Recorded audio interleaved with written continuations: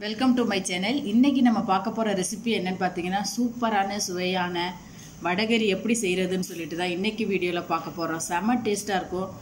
வடகரியும் hotel ஸ்டைலில் இன்றைக்கி எப்படி செய்கிறதுன்னு சொல்லிட்டு தான் பார்க்க போகிறோம் இந்த மாதிரி நீங்கள் செஞ்சீங்கன்னா இட்லி பூரி தோசை எல்லாத்துக்குமே செம டேஸ்ட்டாக இருக்கும்.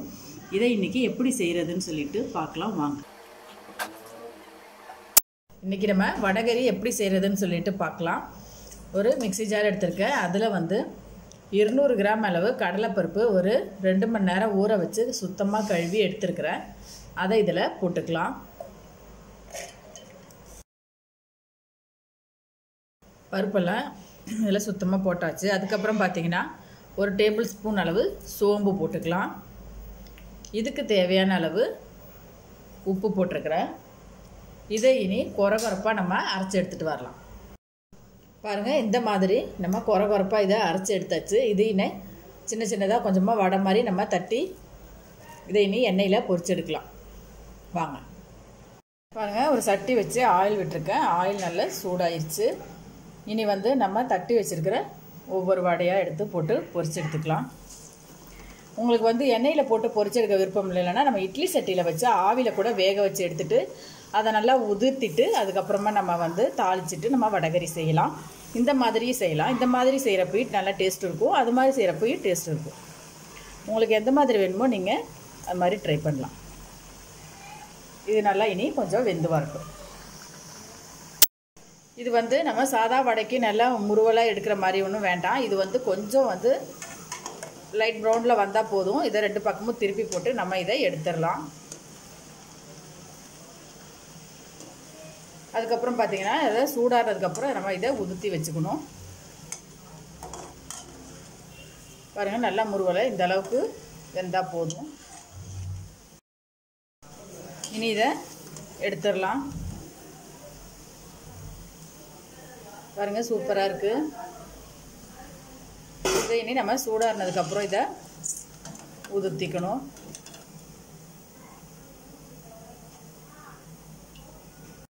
பேன் வச்சு ஆயில் விட்டுருக்கேன். அதில் சின்னதாக ரெண்டு ஏலக்காவும் சாரி பட்டையும் ரெண்டு பிரியாணி இலையும் போட்டிருக்கேன். ஏலக்காய் போட வேண்டாம். ஏன்னா நமக்கு ஓவர் வாசமாக இருந்தால் நல்லா இருக்காது. அதனால தான் இது ரெண்டும் போட்டதுக்கப்புறம் நம்ம வெங்காயம் போட்டுக்கலாம். நார்மல் சைஸ் வெங்காயம் சின்னதாக ரெண்டு கட் பண்ணி வச்சுருக்கிறேன். அதையும் இதில் போட்டுக்கலாம்.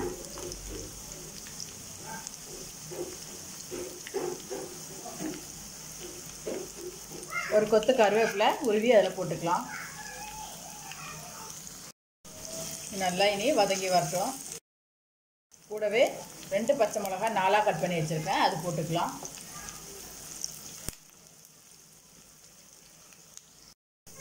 வெங்காயம் நல்லா வதங்கிடுச்சு. ரெண்டு தக்காளி நறுக்கி வச்சுருக்கிறேன். அதே இதில் போட்டுக்கலாம். இதுக்கு தேவையான அளவு உப்பு போட்டுக்கலாம். தக்காளி கொஞ்சம் வதங்கி வந்துருச்சு. இனி இதில் கொஞ்சமாக இஞ்சி பூண்டு பேஸ்ட்டு போட்டு அதோட பச்சை வாசனை போகிற வரைக்கும் கொஞ்சம் வதக்கி எடுத்துக்கலாம். இனி நம்ம மசாலா தூள் ஆட் பண்ணிக்கலாம். பாருங்கள் மஞ்சத்தூள் மிளகாய்த்தூள் மல்லித்தூள் கரம் மசாலா. இது நாளையும் தேவையான அளவு எடுத்துட்டு அதில் போட்டு நல்லா எண்ணெயிலே நல்லா வதக்கிக்கலாம். இது வதக்கிறப்ப கொஞ்சம் சிம்மில் வச்சுக்கோங்க மசாலா தூள் உடனே கரிஞ்சிரும். அதனால் நம்ம சிம்மில் வச்சுட்டு செய்கிறது நல்லது. மசாலா தூள் போட்டோன்னா நல்லா வாசனையாக நல்லா இருக்குது. இனி இதுக்கு தேவையான அளவு தண்ணி ஊற்றி இந்த மசாலாவை நல்லா வேக விடலாம்.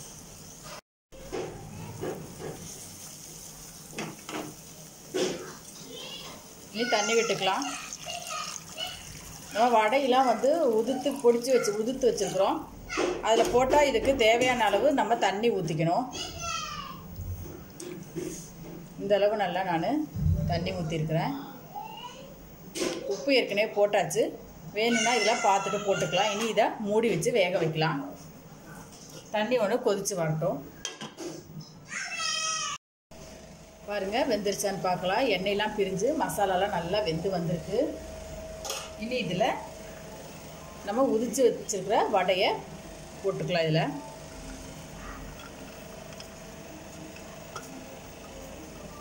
நம்ம இதை ஹோட்டல்லையும் சாதா கடைகள்லையும் வாங்கி சாப்பிட்ணுன்னு இல்லை. வீட்டிலையே நம்ம நல்லா சுவையாக செஞ்சிடலாம் இதை.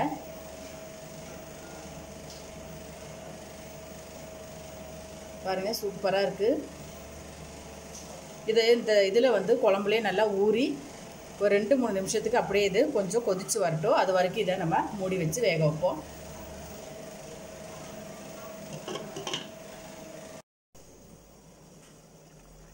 பாருங்கள் சூப்பராக நம்மளோட வடகறி ரெடி ஆயிடுச்சு. எண்ணெயெலாம் பிரிஞ்சு நல்லா வந்துடுச்சு இனி லாஸ்ட்டாக நம்ம கொத்தமல்லி இலை போட்டுக்கலாம்.